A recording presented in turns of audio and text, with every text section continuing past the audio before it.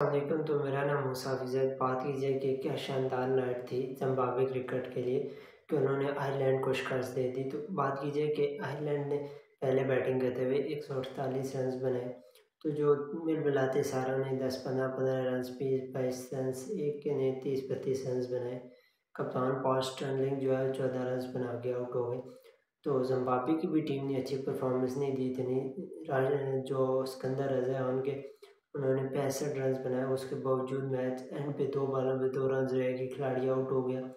एक गेंद पे दो रन रह गए थे इन साइड एच हुआ और वो पीछे कीपर से मिस हो गए, दो रन बन गए। तो शानदार थ्रिलर मैच हुआ है और जो इस कहते हैं जम्बावे के लिए बहुत बड़ी अचीवमेंट थी आयरलैंड को शिकस्त देना।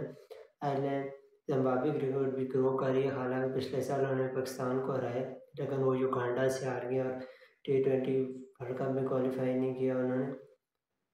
तो खुदा खुदा करके उनके जो बुरे दिन आ रहे थे, यानी उन पर परेशानी थी, वो फाइनली आज उन्हें ये फतह से कुछ सुकून मिला होगा, लेकिन जो वर्ल्ड कप में क्वालिफाई ना करना वो एक मेरे ख्याल में, उसका अलग ही अफसोस होता है।